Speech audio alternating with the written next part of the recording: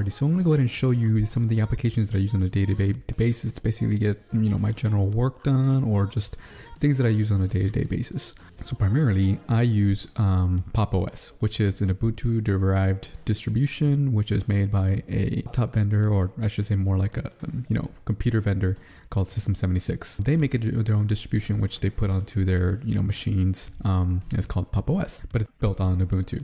So basically, what it has, it's you know Ubuntu with basically GNOME on top of it, uh, and they do some certain things to it run more smoothly on their machines.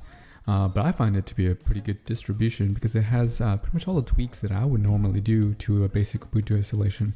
Uh, it has those already built in and it kind of helps you kind of get started quicker. So that's why I use it. So what you're looking here is basically their, the uh, Pop! OS. Uh, and that's what I use. So here, as you can see, it's Pop! Pop! OS 18.04 LTS. Currently, I'm running this on 8 gigabytes on an Intel Core i5. Just, you know, basic stuff, you know, pretty standard uh, installation. That's my day-to-day -day distribution. So let's go ahead and start going through some of the applications that I go I use on a day-to-day basis. So obviously the first one would be Firefox. Um, I use Firefox on a day-to-day basis. It's the thing that I pretty much connects me to the world and to 99% of the things that I do for my job.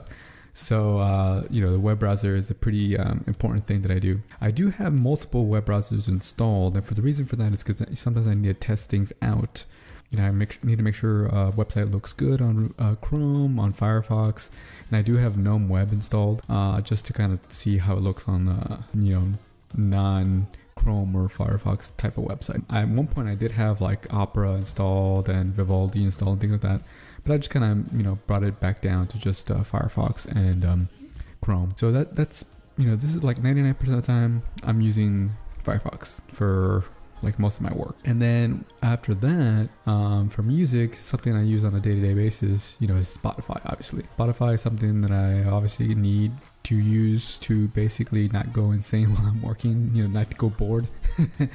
uh, so it's one thing that I technically use every single day. So and it, and it counts. That's something I use every day. I'm on the premium subscription, so I, you know I don't get the ads or any of that. So that's that's something I use on a day-to-day basis. Another thing that I use on a daily basis is Spacemacs. Spacemacs is kind of like a, a weird combination of Emacs and Vim and a bunch of other stuff built in. So let me go ahead and show you that now. I have it here open. So this is what Spacemacs is. And the reason I started using Spacemacs is because I learned about uh, org mode inside of Emacs.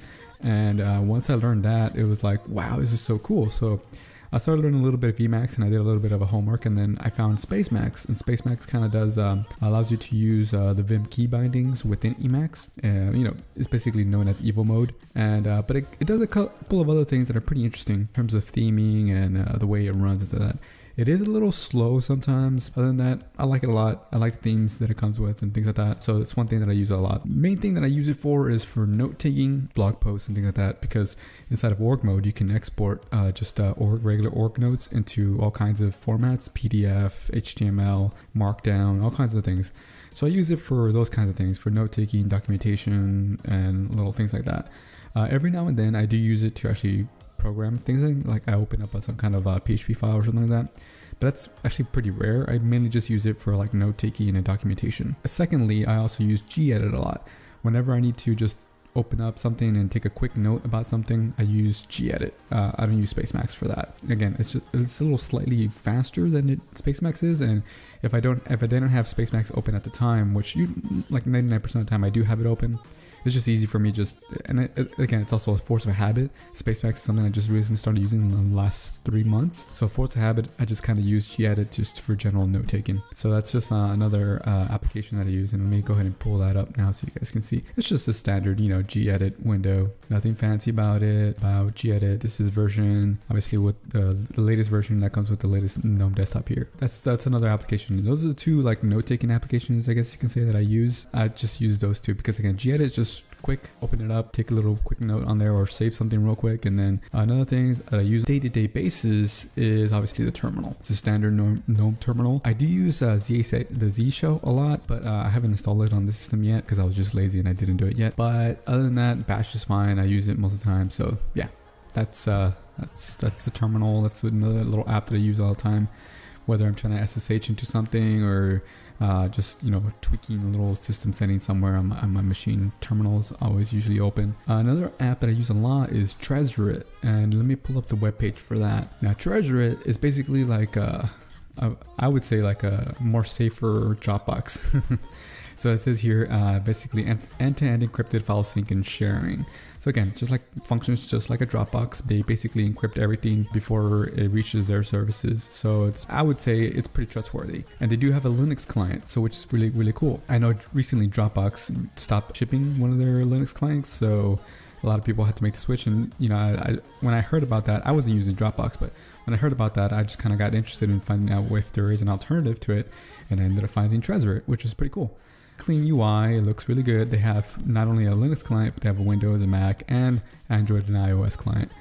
So you know, it functions just like you know, Dropbox. You know, you can dump all your files in there, and uh, they sync across all the applications you choose to it's very user friendly. That's for sure. I, I, will agree on that. That it's very user friendly. The Linux client actually is treated like a first a first tier client, so it, look, it looks just like it is it would like in, on Windows or, or Mac. Unlike Dropbox Trezor, it uses built-in end-to-end encryption. So that's another app that I basically use every single day, whether I'm sharing files or just you know uploading files to it, so I can have a backup. Another cool feature that I use quite a bit is uh, secure file sharing here. So within your Tresorit, you can basically share a file or a folder uh, real quick through a link, and the other person at the other end can basically download it securely, and uh, it gives you feedback on you know whether they've downloaded it, opened it, or whatnot. So it's a pretty cool little system that they have here. Something like I guess you can maybe trust a little bit more than you would uh, Google Docs or anything anything like that. So just something to check out if you're interested. Uh, just end-to-end encryption, like Dropbox type of file syncing. You know, go ahead and check out Tresorit for that. Uh, the next thing that I use all the time is my VPN. So whether I'm home or in the coffee shop or just working remotely somewhere, you know, I usually always have my VPN. Like 99% of the time, I have my VPN turned on. The one I use is private internet access. So private internet access, you know, has a Linux support so basically using private internet access is very straightforward, very easy, and it's something that I tend to use every single day. So, and it's also very inexpensive. So it's something, something that I use quite often. And as you can see here, you know, they, they offer several different services, uh, proud sponsor, and they're sponsors of like, you know, the GNOME Foundation, Freenode, EFF, Creative Commons, all kinds of cool little things like that. So that's one of the reasons why I chose private internet access for choosing my VPN. So the next thing that I use a lot, and this is mainly for my like, on my business side. Um, so I, I do remote support. Uh, so ScreenConnect is the tool that I use to do that. And ScreenConnect is pretty easy. The Linux client it's a little it's a little behind uh, than let's say the Windows client, but it's actually it's pretty straightforward to use and it gets the job done and it has the majority of the features that the Linux, uh, excuse me, the Windows client has. It, can get the job done. I saw a recommendation on um, from Tom on uh, uh, Lawrence Systems uh, YouTube channel. He he uses this software, and uh, so he recommended it, and I checked it out as an alternative to TeamViewer. Um, and I checked it out, and actually, I, I was pretty impressed. Uh, even though, again, it doesn't have all the bells and whistles as the its Windows client has but it can get the job done uh, just as well as the Windows client. And they do have an Android app, an iOS app, even though I feel that they're not that great, but they do have that available. It's very actually, and again, it's very straightforward to basically provide remote support by using the software. So that's something that I use on a day to day basis. Another thing that I use on a day to day basis is GIMP and um, the GNU Image Manipulation Program. And GIMP is something that I use, I would say like literally once a day I use it. If not, at least once a week, you know, I'm using GIMP. And, you know, the reason for that is because, you know, some, sometimes when I'm working on a website for a client, I just need to crop an image or do something real quick. GIMP is there and I get it, I can get it done real quick. And it actually opens up really, really quick on my, on my computer. So whenever I just need anything to do, just real quick, I can do it inside of GIMP and it's pretty straightforward. So those are some of the applications that I use on a day-to-day -day basis and basically to either get my job done or just to that I'm browsing the web or just doing something on my computer. So there, those are some of my most daily used applications and I do open all of these primarily at least once a day even if it's for like a second or two, I do open them up and I do use them. So this is why they're my most daily used apps. Let me know what you guys use as your daily apps. Uh, let me know if you guys use any of these as your you know go-to applications for your day-to-day basis. Uh, I also use some of these for my, my work, so uh, let me know if you guys use any of these for your work as well.